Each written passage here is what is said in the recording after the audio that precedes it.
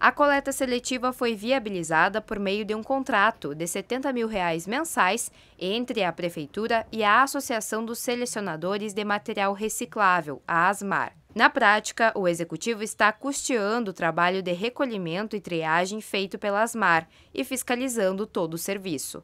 No primeiro dia de funcionamento do novo modelo, o caminhão da Asmar saiu da sede da associação por volta das 6 horas e 30 minutos, com o um motorista e dois auxiliares, para realizar a primeira rota prevista para amanhã, no bairro Tancredo Neves. A maior parte dos materiais recolhidos foram papelão, garrafas PET, livros e eletrônicos.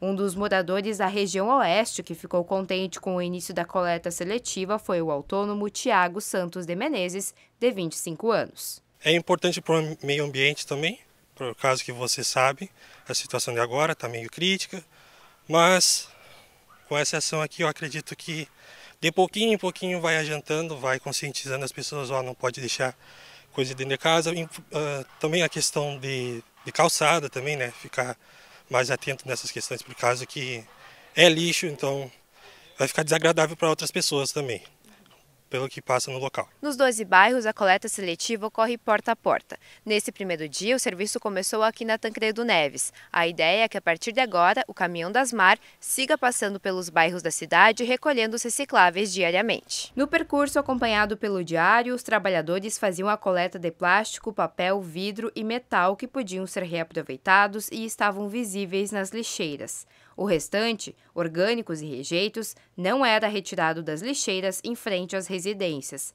Por isso, é importante que a comunidade confira o cronograma do recolhimento de lixo, para colocar os recicláveis no dia e horário que o caminhão da Asmar passar e os outros tipos de resíduos no dia da coleta convencional, feita pelo veículo da empresa Sustentare. Importante destacar né, que o início da coleta no dia é a porta a porta, então hoje um exemplo é Tancredo Neves, o caminhão passa por todas as ruas da região delimitada, ele retorna e aqui na Asmar ele faz a descarga e da mesma forma que a prefeitura contrata a coleta, ela também paga pela triagem, ou seja, todo o pessoal que trabalha aqui atrás no pavilhão, ele vai triar esse material enfardar e vai disponibilizar para venda, que daí tempos em tempos eles carregam e vendem esse material. A gente acompanha todo dia tanto a rota do caminhão pelo GPS, né? então o caminhão ele tem o rastreador, então a gente analisa se ele sim prestou o serviço, passou em todas as ruas que deveria.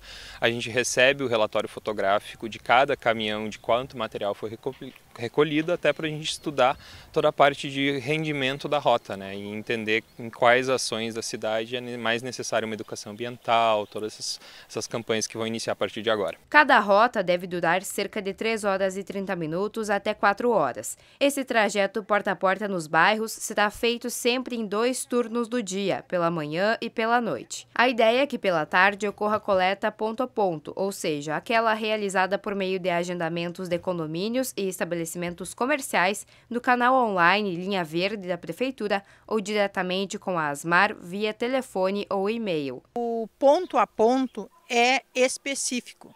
O ponto a ponto, eu vou direto no seu condomínio recolher o material do seu condomínio, tá? O, o recolhimento que o pessoal está fazendo, eles não podem entrar na casa das pessoas. Eles só recolhem, a, a dona de casa vai deixar na frente, no dia da coleta seletiva, o seu material reciclável. E aí o pessoal vai só recolher o material, botar no caminhão e aqui a gente faz a triagem. Eles não, eles não vão na rua abrir saco, não vão fazer nada. Eles não podem fazer isso porque senão vai é, trazer transtorno para a coleta depois. Então você, a dona de casa deixa o material separado, eles recolhem e aqui dentro é feita a triagem. O ponto a ponto vai ser específico para algumas empresas que, que cadastrarem ah, condomínios, escolas, lojas, enfim, pontos de grandes geradores que a gente vai ter que ter um, um cuidado maior, o caminhão mais vazio para poder caber todo o material. Concomitante à prestação de serviços para a Prefeitura, a Asmar vai continuar fazendo a coleta do restante dos 28 bairros e dos públicos que já vinha atendendo aqui em Santa Maria. Agora, aliado a isso, o contrato com o executivo permitiu um reforço do recolhimento de recicláveis. Isso favorece os trabalhadores da Asmar, já que quanto mais materiais forem reciclados, mais renda é gerada. A coleta que a, que a Asmar já estava fazendo, ela permanece, né? ela, ela continua Tanto que agora está saindo mais um caminhão daqui que a gente, que o motorista chegou agora para a gente continuar o nosso, o nosso recolhimento normal. Porque vai estar tá um caminhão da seletiva na Teneves e esse caminhão está indo para o centro. São lugares totalmente diferentes. A gente vai estar tá atendendo, tá atendendo hoje três regiões da cidade ao mesmo tempo. Facilitou para a população essa coleta daí.